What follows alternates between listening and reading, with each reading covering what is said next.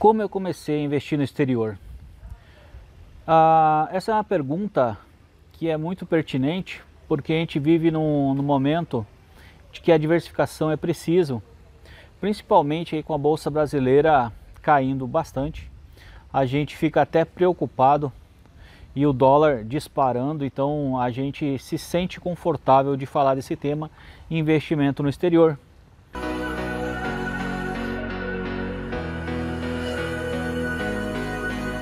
Já aproveito aqui para deixar o link da Avenue aí embaixo, né? Se você quiser abrir conta e conhecer a Avenue, tem as corretagens grátis, as primeiras corretagens, então conheça a Avenue, o link está aí na descrição desse vídeo fixado no primeiro comentário. Então como é que foi a minha jornada de investimento lá nos Estados Unidos, no exterior? E antes que você fique preocupado, já te digo que é muito fácil investir, não precisa falar inglês e é tudo em português se você fizer pela Avenue. Então, eu comecei a investir no exterior a partir do momento que eu fiz um vídeo dizendo que era difícil investir no exterior, que eu não iria investir no exterior, porque era muito complicado. Aí uma pessoa entrou em contato comigo, né? Uma pessoa de dentro da Avenue, que eles é, por coincidência estavam lançando essa corretora, que é nova inclusive, né? É a primeira corretora de brasileiros é, feitas por brasileiros. E essa pessoa entrou em contato comigo e falou: Peterson, deixa eu esclarecer uma coisa para você. É, investir lá nos Estados Unidos é muito fácil, muito fácil e vem cá, vou te mostrar. Abriu lá, teve a paciência de fazer uma chamada comigo, abriu lá a Avenue, mostrou como é que fazia o câmbio, como que operava e a partir daquele momento eu vi que era tão fácil que eu fiquei até com vergonha depois do vídeo que eu tinha falado que investir no exterior era difícil. Então por isso que eu estou nessa jornada para desmistificar o investimento no exterior. A partir daquele momento que eu comecei a investir no exterior, eu não parei mais.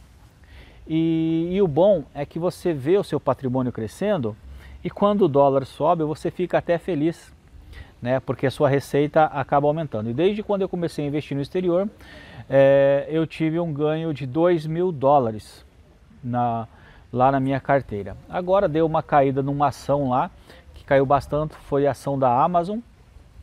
Com a Amazon eu estou é, mil dólares menos do que eu estava ganhando, mas ainda estou no positivo. Então estou mil e poucos dólares ainda no positivo, dentro da carteira que eu selecionei para investir lá nos Estados Unidos.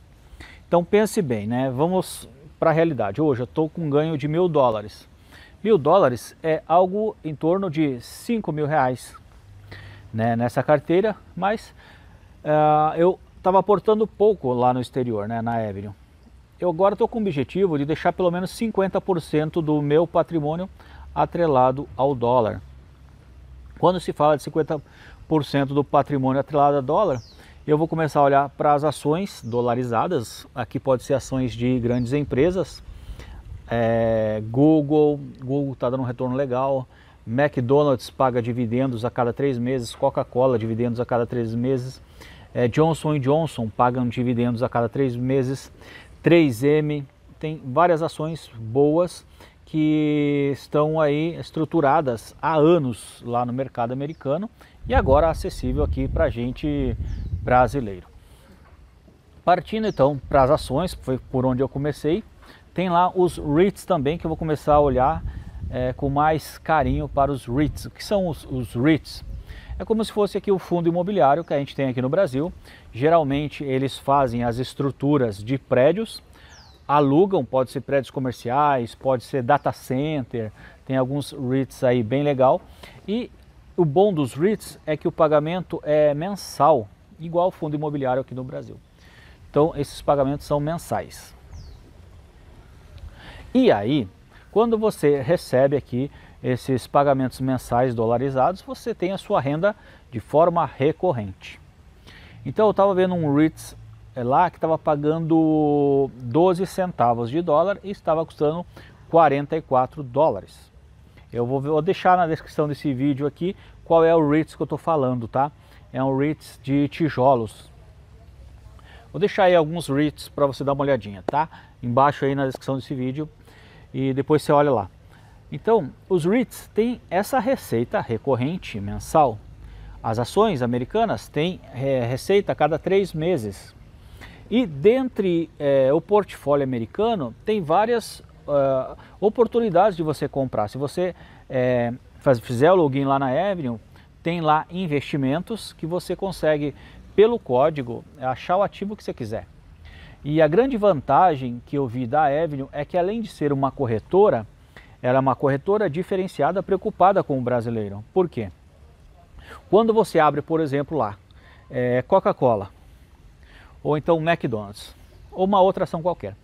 Dentre a alternativa de comprar e vender, ali embaixo tem algumas análises feitas por especialistas da, da própria corretora, ligado à corretora, e dizendo se é momento de comprar, se é momento de vender, compra forte, compra moderada e outras informações da empresa. É como se estivesse sendo a corretora com um site de análise, por exemplo, aqui no Brasil, para a gente analisar uma ação, a gente não consegue fazer dentro da corretora, pelo menos eu não vi isso ainda.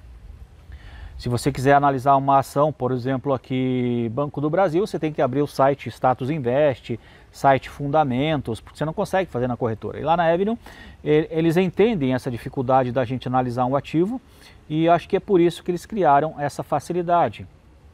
Então, quando você abre lá McDonald's, vai ter lá os dividendos que pagam, o valor da empresa, vai ter lá o gráfico dela, você consegue ver lá a oscilação de preço, tem é, preço-alvo, que, que eles falam, por exemplo, lá McDonald's, se tiver 200 dólares e a recomendação for para comprar, vai ter o preço-alvo, talvez 220 dólares. Então isso daí acaba facilitando bastante a gente que quer investir no exterior e quer estudar a empresa. Além de você conseguir fazer é, esse estudo dentro da plataforma da Avenue, tem alguns outros sites que você consegue também coletar as informações da empresa. Mas daí já é fora, né? É, você consegue então ter informação hoje. Com a internet está tudo muito fácil.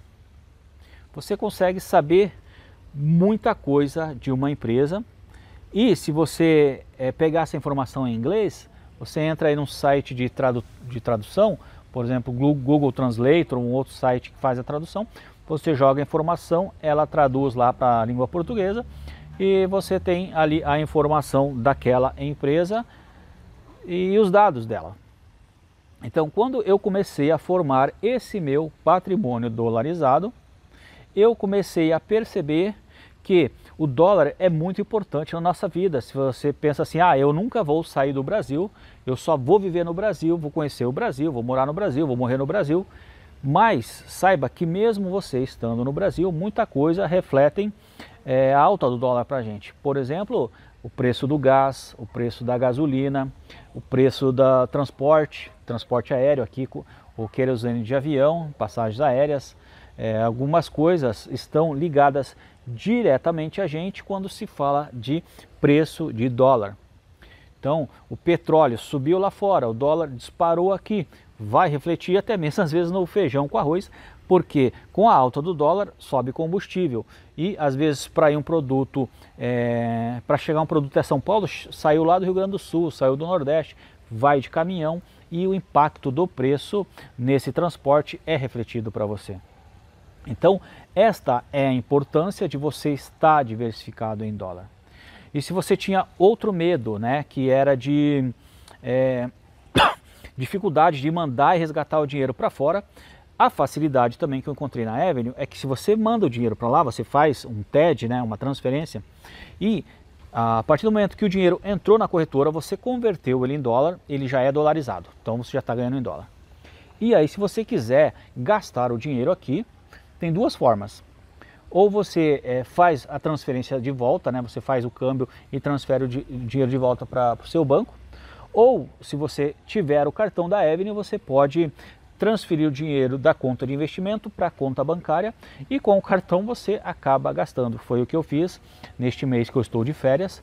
Então eu tinha um dinheiro lá na conta de investimento, transferi para a conta bancária da Avenue, peguei o cartão e estou utilizando aqui nas minhas despesas é, de janeiro, né, que são umas despesas de férias. Então estamos passando férias é, fora de São Paulo e essa foi uma facilidade que eu encontrei também.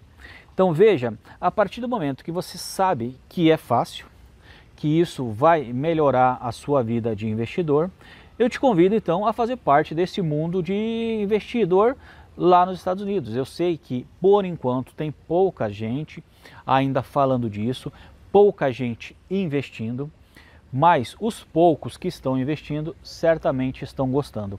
Eu até convido aqui você a comentar nesse vídeo se você já investe lá fora, qual a corretora que você utiliza e se realmente você está é, tá sentindo facilidade ou se tem dificuldade. E se tiver alguma dificuldade, comenta para mim qual é a dificuldade que eu vou tentar ir falar com a equipe, é, conversar com o pessoal, tentar ver uma forma de te ajudar para que cada vez seja mais fácil você investir e também ganhar dinheiro, tá? Sou Peterson Siqueira, tamo junto aí para ganhar dividendos dolarizados e nos vemos nos próximos vídeos.